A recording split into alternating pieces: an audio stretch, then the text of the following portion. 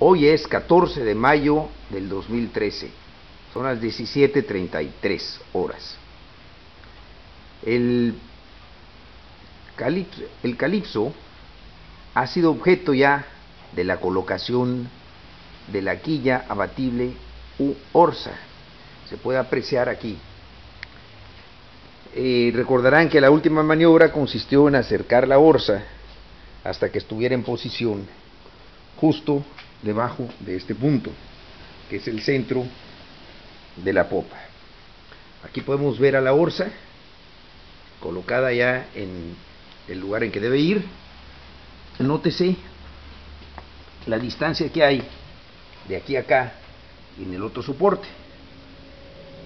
Fue necesario acortar este cable, quitarle como unos 20 centímetros para que pudiera subir más. Así es como debe quedar.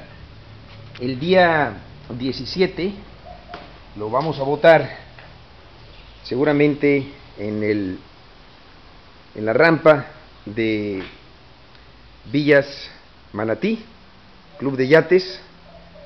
Eh, vamos a dar una vuelta por el río Hondo, unos 15, 16 kilómetros, para ver cómo se comporta después de esta rehabilitación de casi un mes de duración. Todo está hasta ahora perfecto. Seguiremos informando.